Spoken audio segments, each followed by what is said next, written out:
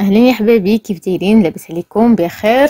عافا غبرت عليكم. هاني رجعت خصوصا مع اليوم المدرسة جبت لكم وصفات جداد خصوصا الناس كتطلب بزاف الوصفات الساهلين ديال ال goûter.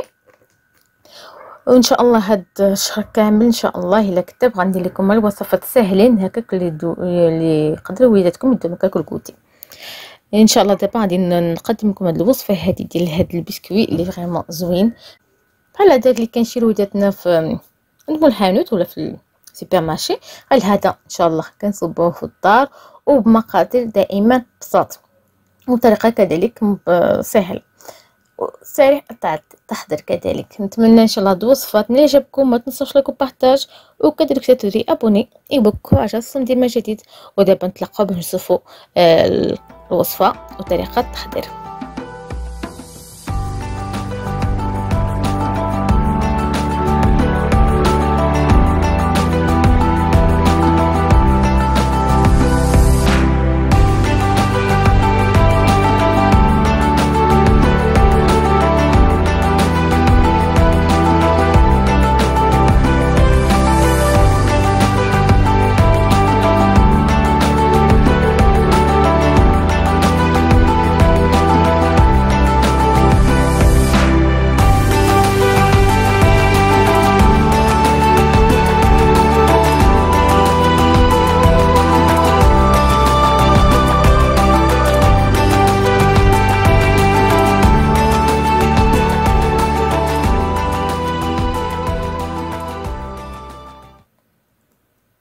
بالنسبة للمقادير غادي نحتاجو بيضة واحدة تكون في حارة المطبخ. ونحتاجو كذلك آه، كاس إلى ربع ديال السنيدة كنعبر بالكاس العنبه وغادي نحتاجو كاس حليب يكون حتى هو ما يكونش برد من حارة المطبخ. ونحتاجو كاس ديال الزيت. جوج كيسان ربع ديال الدقيق وخمارة أه وحده ديال 8 غرام ولا 7 غرام اللي متوفى عندكم. وجوج معالق كبار ديال العسل وغادي نحتاجو كذلك vanille. ما بدوش فاني تقدروا تبدلوا بال zeste ديال ال citron ولا ال zeste ديال الليمون. وغنحتاجو كذلك قبصة ديال الملحة. غادي ناخدو إناء ونديرو فيه البيضه ديالنا غادي نخلطو مع السنيده كما قلت لكم كاس إلا ربع. باش ما يجيش هكاك حلوة بزاف. داكشي جديد كاس إلا ربع. كنخلطو مزيان هذيك البيضة مع سنيدة وكنضيف كذلك قبصه الملحة. تقدروا ديروها دابا ولا ديروها مع الدقيق ومن بعد بعد ما كنخلطو مزيان غادي نضيف الزيت والحليب وكذلك العسل والفاني. أنا خلطوهم مزيان. حتى كتشوفوا صافي ندمج مزيان هذا الخليط.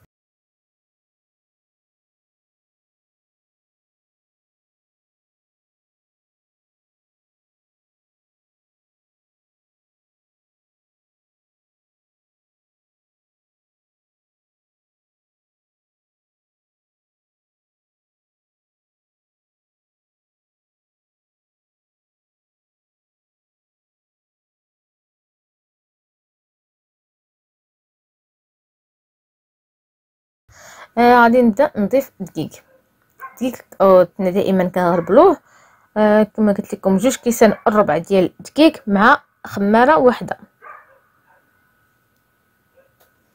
وفران درناه يسخن. باش يسخن مزيان بما نصاوب هاد الحلوة خاصها تكون سخن مزيان.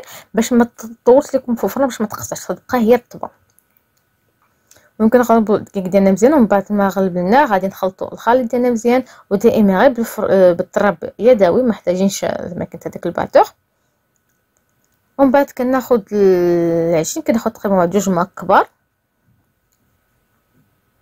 وغادي نضيف عليهم معلقه صغيره ديال الكاكاو على حسب الكاكاو واش عندكم هذاك النوع ممتاز ولا الا كان نوع ممتاز؟ تحتاجو غير معلقه صغيرة. كان هذاك الآخر اللي مغشوش تقدروا تحتاجوا تقريبا واحد المعلقة كبيرة تقريبا.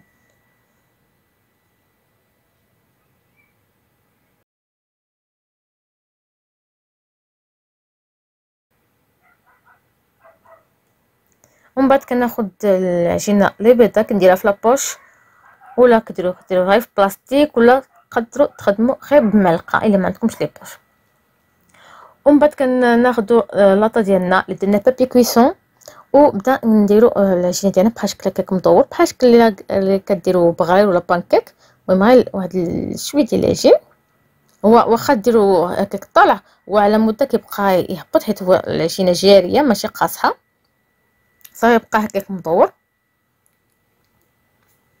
ممكن ديروا هكاك حتى كديروا كاع العجين ديالكم في لاطا وتحاولوا ديروا اسباس بيناتهم ما يجوش هكاك لاصقين حيت ملي غيطيبوا غادي تزيد تحلوا وغادي تلصقوا مع بعضياتهم وتحاولوا هكا كما قلت لكم ديروا بابي كويسون ما عندكمش ديروا بابي الومنيوم المهم شي حاجة باش ما تلصقش لكم هاد الحلوى في لاطا.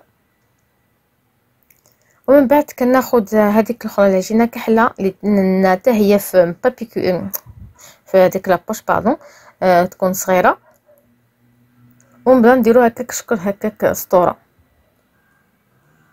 المهم زواقها كما بغيتو. أنا درتها شكل هكا باش ندير بحال شكل ديال الملفه من الفوق. المهم زوقها كما بغيتو خفيفة ما بغيتوش تزوقوا كاع تزوقوش. تقدروا ديروا غير النقط المهم الزوقة كما قلت لكم اختياري المهم كنستمروا بالطريقة هذه حتى كنديروا كاع هاد لي تخي ديالنا. ومن بعد كناخذ آه، هاد العود ديال البنان ولا شي موس. ونبدا نديرو هكا غادي جايين باش يجينا شكل ديال الملفي من الفوق. ممسوقة سهلة ودائما وصفات سهلين إن شاء الله هاد الكوتي لوليداتنا باش هكاك ما ياخذش الوقت بزاف. وكذلك المنظر دائما باش الدراري تما المنظر كيعجبهم. ومن بعد كناخذ لاطه ديالنا وكنديرو في الفران كما قلت لكم خصو يكون سخون مزيان باش ما يطولش في الوقت. إلا كان الفران سخون مزيان تحتاجو تقريبا غير خمسة دقائق.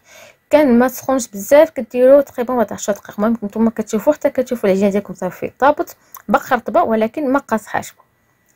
وإن شاء الله نتلاقاو باش نشوفوا الشكل النهائي. بعد ما طيبناه كما كتشوفوا حنا خرجناه من الفران خليتها تبرد ومن بعد كتاخذوها وكتديروا confiture confiture مشمش ديال الفريز ولا ديال هذاك هذاك الشوكولا ديال الدهن ديال الخبز. المهم كديروه هكا ومن بعد كتحطوا فوق ال...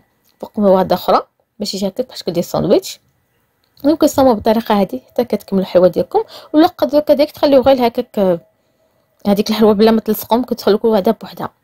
ونتمنى إن شاء الله هاد الوصفات اللي جابكم وكذلك يعجبكم ونتمنى إن شاء الله تبارطاجيو باش هكاك بزاف الناس يستافدوا منها خصوصا هاد الأيام أيام الدراسه أيام ال goûter. آه إن شاء الله نتلاقاو في الوصفة القادمة إن شاء الله. بصحه وراحه